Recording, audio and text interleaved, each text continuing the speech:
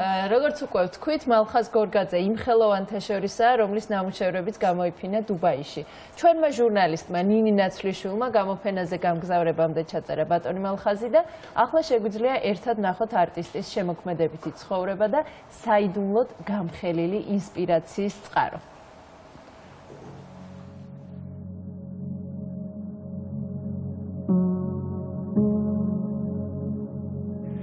ეს ძელ ცხოვრებას აქ უზარმაზარი აი ყულაბარო თქვა რა ყველაფერი იკრიბება იმაში და მე ერთი გადასახედიდან უკვე როცა ასაკი დიდი გაგდა იყურები მართლა რაღაც საინტერესო ის გამოდის ასაკსაც თავის სილამაზე აქვს რა იცოდეს ზოგი ჩამოწერს ხოლმე მაგრამ იმაში ბევრი კაი რაღაცები.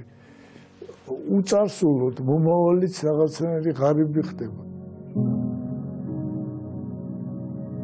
რაღაც ავტორიტეტები იყვნენ ჩვენთვის ესე იყო რაღაც ვინ იყო კარგი თქვა მოქანდაკე ვინ იყო ისა და შენ ცდილობდი რაღაცა ორიენტაცია ქონოდა როგორ გემუშავა და ეხლა რაღაც ეს ეს დაირღვა ცოტა რო იცოდე შენ.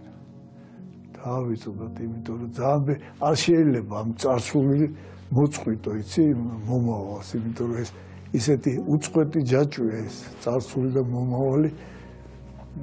აწყوარი შუაში გაჩხი აწყوარი ყოველწუც ხდება царსული ეხა აწყოში ეხა ჩვენ ვლაპარაკობ.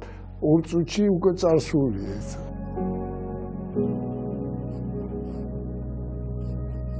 ამ სივრცეში 65 წლიდან შრომობ, მაგრამ ის რასაც ეს ამას ხედავთ, ეს უკვე დიდი შრომის შედეგად მოხდა წლების მანძილზე.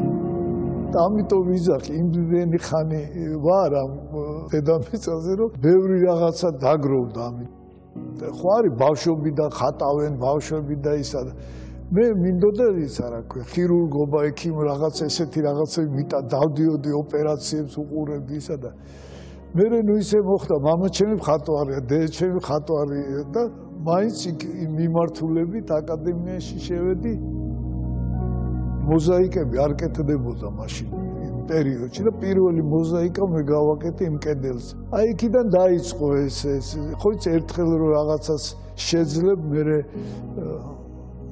შენს უნდა ხარ ვიღაცას რო კიდევ გააკეთო ექსტერიერებზე და ქალაქის გაფორმებას უფრო მე დროს ვანდომები ვიდეცე კამერულ მუშაობას და ყველაფერს რასაც ვაკეთებ ყოველთვის ჩემ მეუღლეს უძღვნი და მასი ვიხსენებ ყოველთვის.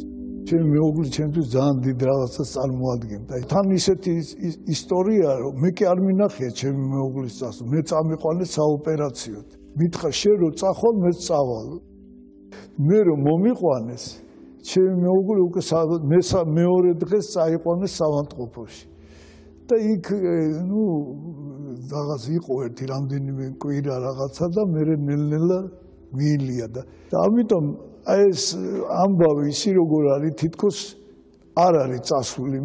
ამის შემდეგ აი ნახატი გავაკეთე ეს მისი წასulis და აი აქეთა ცხოვრება და იქით ეს დარჩა ეს ჩემთვის ძალიან ძვირფასი რა თან იქიდან რომ გამოვიხედა მზე ანათებს ზუსტად ამ სურათს იცით ისეთ სასიამოვნო სანახავი. ეს გობელენი პირველი მოგსოვილი მე და ჩემი მეუღლე მოგსოვეთ ეს აი ეს გობელი. ჯერ კიდე 1980 წლებში არის ეს მოგსოვილი მაშინ შემოვიდა პირველად ეხა გობელენები არავის აზე არ იყო მის კეთების და აღარ მახსოვს აკადემიაში ვიღაცა შემოიტანა გობელენის ტექნიკა და ის ნუ ხალიჩის ქსოვის ტიპის არის მაგრამ არც ისე თლად და ხუთი გობელენი მაქვს მოქსოვილი, ხუთი თუ ექვსი, ექვსი გობელენი. ფიგურები პირობითად ბიბლიიდან ადამიანება ის ვაშლის თემა, რომელიც საბოლოო ჯამში გადაიქცა მთელი ჩვენი ცხოვრების, თქვათ, ბიბლიურ გაგრძელებაზე. მე რა მინდოდა ამით? მეთქვა, რომ რადგან უარს იძახის ამ ვაშლის მიღებაზე, ეგება ჩვენი ისტორიაც სულ სხვანაირად წასულიყო. მე ნუ რაღაც ესე იგი ჩემებური ახსნა ამ ამბის. თუ ემოციას იწვევს აი ნახატი. ჩემთვის უკვე საკმარისია როცა